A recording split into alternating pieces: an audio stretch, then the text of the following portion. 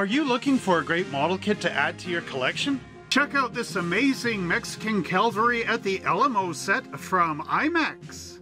Get a great value every day when you shop Monster Hobbies online.